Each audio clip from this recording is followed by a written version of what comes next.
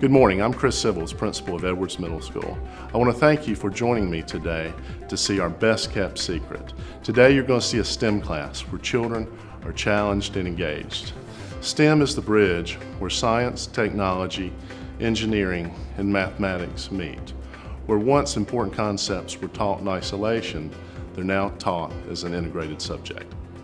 STEM is taking that science, that math, that technology, all that you've gotten, and integrating it into a real life activity, a real life experience. It might be building something in engineering, it might be um, taking it and apply it to a problem. If you're talking about, uh, for example, conservation and saving a certain species of, of, animal, but taking that and figuring out how to use it for the, for, for the rest of the world and as an adult because we want to get the kids ready as children now to what they need to be, the skills they need to have as adults. And we also want to expose them through to career paths mm-hmm. that are also science, math, technology, and engineer related, so they see that they can take their, their, their inside classroom world and apply it to their future. The goal for any STEM class, in my opinion, is to make the teacher more of a facilitator. Students should be taking in problems that real, real world problems and implementing what they've learned in class to try to solve them. And the, the other goal would be get, to get the students to be 21st century learners, to get them to critically think about real world problems and take what they're learning in the classroom and apply it to the outside world in their own community and their own lives. What I like about STEM is that we do hands on projects and um, it's interesting. And when we do STEM, I, I'm a hands on learner.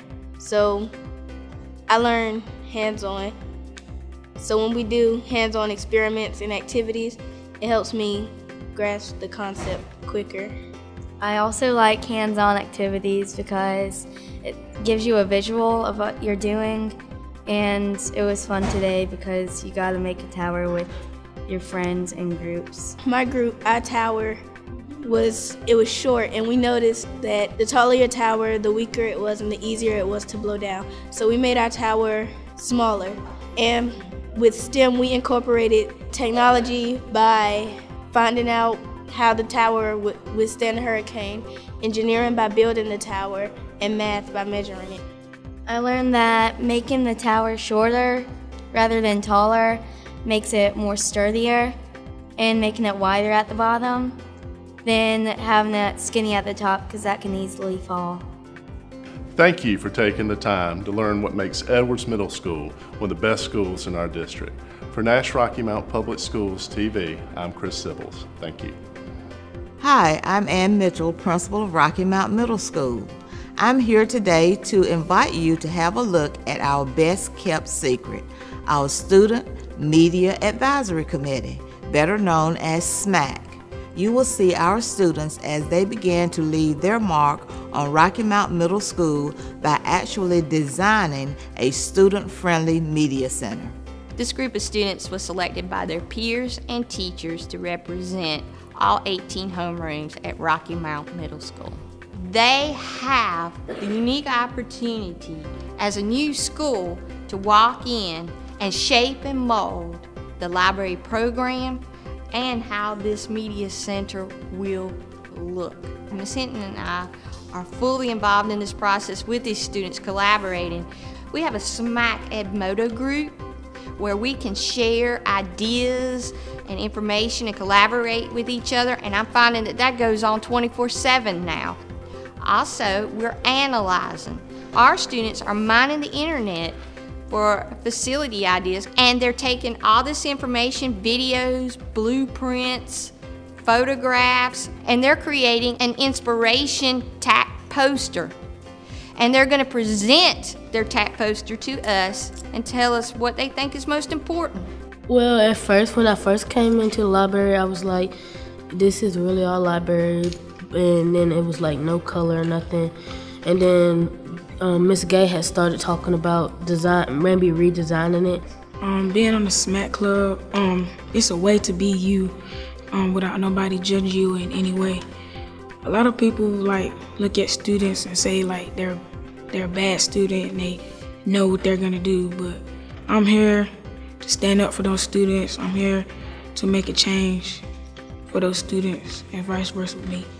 My favorite part is being able to come in here and design the library as one when you walk into a library, you want it to be like, wow, exciting. You want to be able to look and say, oh yeah, these books are going to be good, not boring.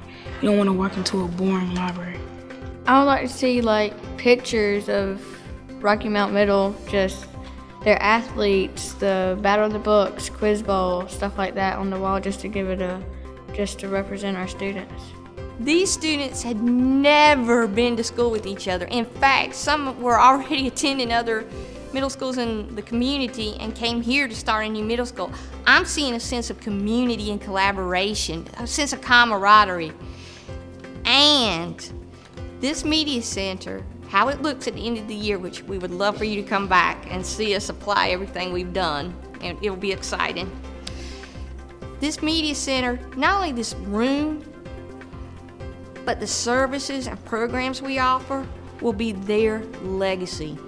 Thank you for joining me today and taking a look at our best kept secret.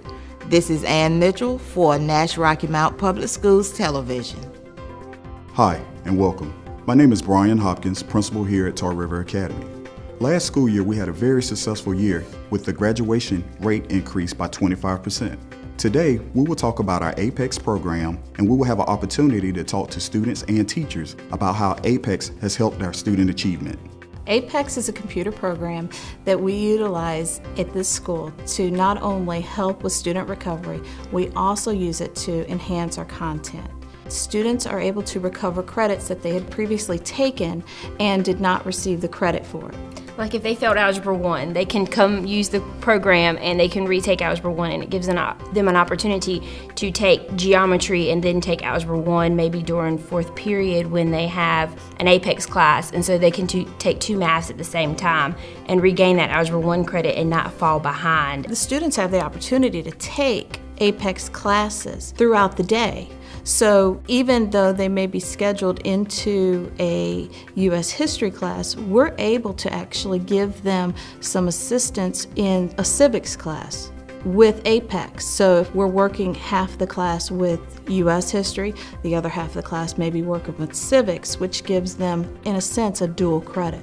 How I use it in my social studies classroom is I pull different aspects of geography from the world uh, history section or the U.S. history section, and I um, use those different parts that my kids can understand and can uh, that correlate with the Common Core stuff that we're doing in order to enhance their geography skills.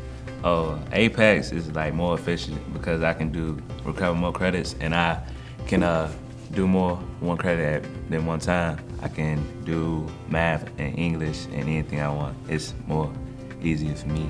And on the MacBook, I can like pull it up. Like if I'm doing all my work, I can pull up on MacBook and do that. It's not long to do. All you gotta do is just get on the computer, do your work.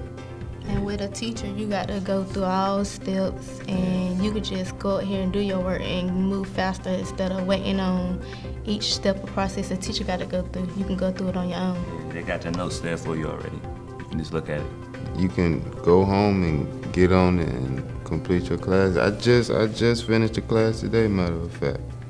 I think that it's actually energized the students.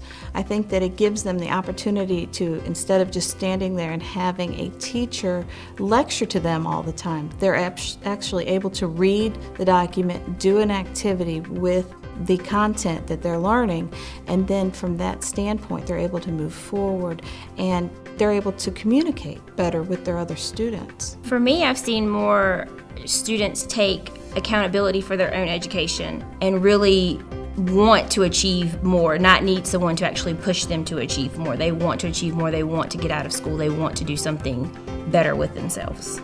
Thank you for joining us here at Tar River Academy for What's Our Best Kept Secrets. For Nash Rocky Mount Public Schools TV, I'm Brian Hopkins.